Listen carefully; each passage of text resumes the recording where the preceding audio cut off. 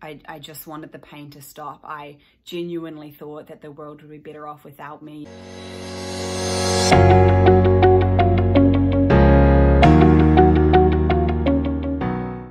Hi everyone, this has taken me so long to do. I've been meaning to start a YouTube channel for literally years um, and so many of you have been requesting it. So here it is. Um, and I decided for my very first video to give kind of a full overview of my story. Um, you know, the things that I went through, the, the things that I guess kind of developed me into the person that I am today and why I advocate for mental health in the way that I do. So I'm going to get straight into it, uh, mainly because I don't want to have to edit down a really long video. Um, so I was born in a very small town in the South Island in New Zealand. Um, and when I was three years old, uh, something happened and it was the very first time that uh, I felt shame. It was the first time that I felt pain and uh, it was the very first time that I was sexually abused. You know, I didn't know as a three-year-old what was going on, but uh, the implications that that would have on me later in life were significant. Uh, there was a lot of stuff going on at school as I got older. And I remember being about seven years old and and this girl uh, out on the playground, I was going across the monkey bars and and this group of people started laughing. And this girl piped up and she said, Jazz, no one's going to touch those now because no one wants to catch your disease. And me sitting here now as a 25 year old, that may not mean anything, but to a seven year old, that was everything. To a seven year old, that kind of these, built these beliefs in me that uh, I didn't belong, that I was a burden, that I was unlovable. And, and as life kind of continued, uh, and home life wasn't great, school life wasn't great. When I was 12 years old, I made a decision that no 12 year old should ever make. Uh, and I made the decision to try and end my own life. And as a 12 year old, I don't think I knew that if I did this, that I, I would never wake up again. But to be honest, I don't think that I cared.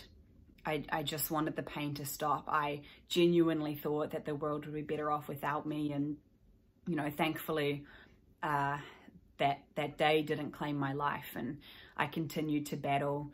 Uh, and when I was 16 years old, there was still a whole lot of stuff going on at school and at home. And I kind of made this decision where I was like, if I'm going to, you know, do anything with my life, I need to get out of here. So I was working at a fish and chip shop at the time, as well as going to school, and I saved up uh, and I moved up to Auckland, which is a big city here in New Zealand, by myself.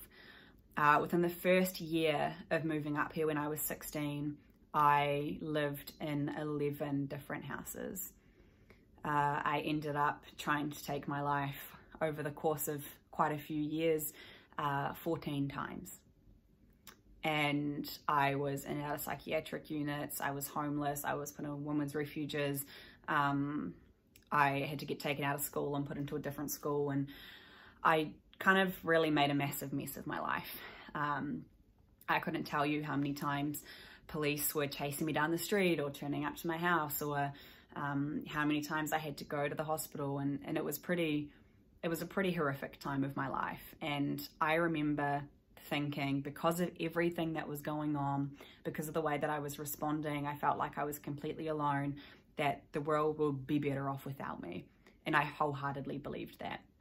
And so I tried to take my life many times and you know I was in a coma at one stage and in and out of the psychiatric units and I'll do a whole other video on my experience in the psychiatric unit and what that was like because I know that a lot of people uh, who haven't been in there are curious about it so I will do a video on that.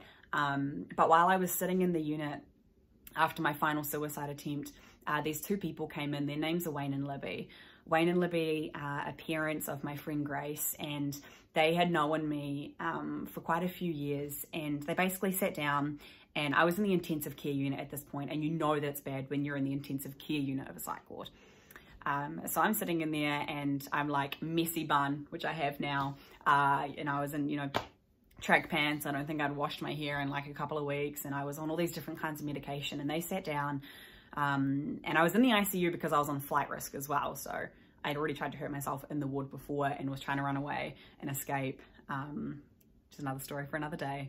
But they came in and I remember them sitting down and I was too ashamed to look at them. I was so scared of what they would say, of what they would think. Um, and I remember eventually making eye contact with them and just bursting into tears.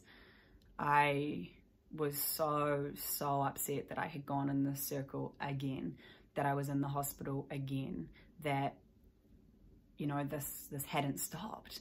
Uh, and I remember Wayne looking at me and he said, Jazz, I think that one day your story is going to change the world. And I remember looking at him and going, I'm in the intensive care unit of a psych ward. That's not going to happen. To give you context of that time in my life, I had lost my job because of my mental illness, so I was jobless. Because of that, I couldn't afford, afford rent, so I was homeless. Uh, and I had kind of walked away from everyone in my life who cares. So when Wayne said to me, Jazz, one day your story might change the world, you can see why I was like, that's impossible. That's never going to happen. Uh, but then a couple of weeks after that, I had a conversation that really changed everything. Uh, and it's the conversation that my whole book, which is behind me here, Stop Surviving, Start Fighting, is uh, based on. And it was a conversation with a woman, her name is Esther. Uh, I've known her for many years. And it was after my final attempt. And she basically sat, sat me down and I was bawling my eyes out. And she looked at me and just went, Jazz, why are you crying? And I turned to her and I was like, I'm just so tired of fighting. And she looked at me and went, Jazz, what do you think the definition of fighting is? Because I don't think that you're fighting. I think you're only surviving. And it's only when you learn how to fight, that's when the change that you're longing to see is going to happen.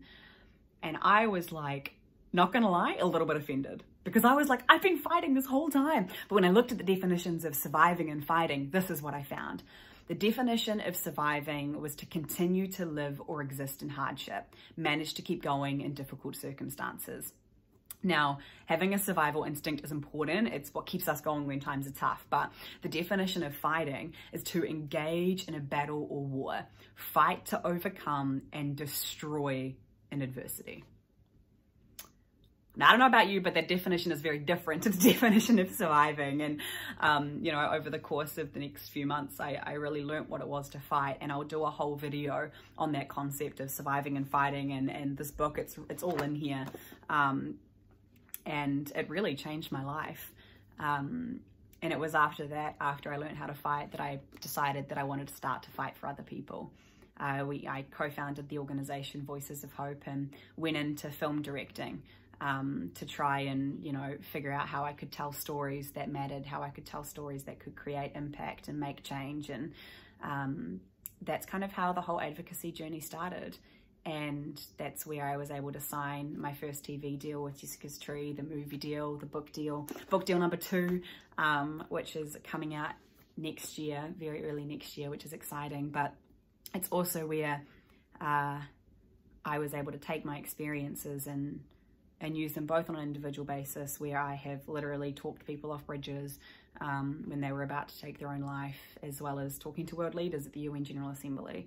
Um, so it's been one heck of a journey and I'm excited to continue to share it with you to be able to uh, go into a lot more depth about the stories of my life and the things that happen in my experiences and my advice and my wisdom on, you know, whatever a 25 year old wisdom can have. Um, but I'm really excited. If you guys have any video ideas and things that you want me to talk about, please leave a comment below. Um, this is, you know, my first of many, many videos, um, hopefully. I'm not going to tell you when I'm going to upload them. I'm not going to do some kind of schedule because I know myself and I know that I'm not going to be able to stick to it because uh, I'm really chaotic. But I'm excited to be able to share more with you um, than just, you know, if you come over from TikTok, the little TikTok videos that can only be a minute uh, or Instagram posts. This is a platform where I can go more in detail about all of the things that you guys are wanting to hear about. Things like, you know, uh, what happened with Dr. Steph getting me admitted to the psych ward or police officer Constable Campbell, psych wards, everything that you want to know.